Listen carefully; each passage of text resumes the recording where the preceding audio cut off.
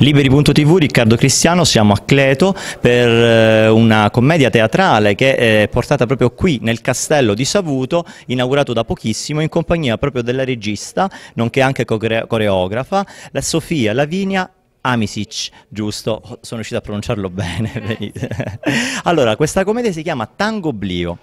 Io ho un attimo documentato la cosa, mi sono un attimo documentato e a quanto ho capito è eh, un sogno, una visione un po' onirica di questo poeta, se non ricordo male, eh, che comunque è eh, un insieme di musiche di Pastor Piazzolla, se non ricordo male, e, e di eh, parti diciamo, recitate di Orazio Ferrer esatto. e Borges, che è un poeta nazionale argentino importantissimo. Certo. E perché avete scelto diciamo, di rappresentare questa, uh, questa, commedia? È una commedia unica? L'hai eh, ideata, pensata? Perché hai deciso di metterla diciamo, in scena?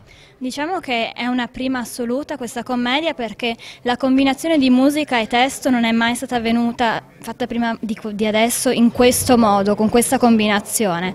E il protagonista è un signore ipovedente che ha raggiunto la cecità e attraverso i suoi ricordi ricrea in scena, quello che vediamo appunto è il caffè, che lui frequentava con i personaggi tipici del posto.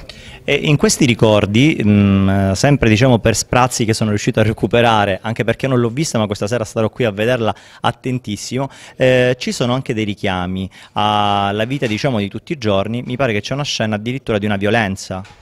Diciamo che il ballo passionale in questa scena che lei ha citato diventa quasi violento, non raggiunge del tutto la violenza ma comunque c'è una donna che è vittima di violenza e poi non cadrà del tutto ma si rialzerà con la forza femminile delle altre donne in scena. Altre donne in scena, ci sono grandi nomi che hanno partecipato diciamo, ad altre diciamo, esibizioni, hanno collaborato con eh, grandi nomi, eh, lei stessa diciamo, eh, ha una scuola alle spalle abbastanza pesante direi io, dopo studi veramente prestigiosi che ha, che ha svolto sia italiani che all'estero. Ehm, questo, questa scelta, io dico, di, eh, qui del territorio di Cleto è anche un modo per rivalutare non solo il territorio, ma soprattutto la figura del teatro a livello locale. Sì, diciamo che questo spazio scenico è eccellente perché permette di far rivivere uno spazio che sennò magari viene utilizzato poco e attraverso l'arte sicuramente viene valorizzato. L'entroterra cosentino è un paesaggio ricco di, di ruderi e spazi che non sono valorizzati a sufficienza, ecco perché abbiamo pensato di portarlo in giro.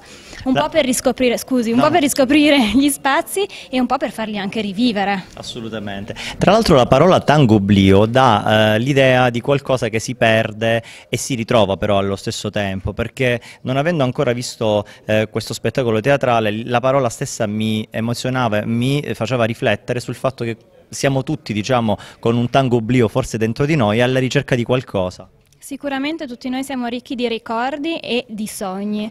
Questo fa sì che cerchiamo di portare avanti la nostra vita su una strada e chissà che i nostri sogni non siano proprio quella strada che ci aiuta a raggiungere la felicità. Ecco Tango Brio. Perfetto, io a questo punto ringrazio Sofia Lavini Amisi, ci dicevamo regista e coreografa di questo spettacolo, di questo spettacolo teatrale che si chiama Tango Blio, eh, che comunque non è il primo, ma ce ne saranno appunto altre rappresentazioni, giusto? Certo, è previsto un tour eh, nel territorio cosentino e anche fuori dalla, da Cosenza. Quindi eh, invito tutti gli amici web ascoltatori a informarsi sulla pagina web, insomma che sicuramente ci sarà, io poi la manderò in sovraimpressione e di vedere lo spettacolo Tango Blio perché è una ricerca di qualcosa che è dentro di noi ma che sicuramente è frutto di una ricerca sicuramente artistica e stilistica della regista eh, e vi ringrazio appunto del, dell'ascolto che ci avete dato. Liberi TV, Riccardo Cristiano, Cleto.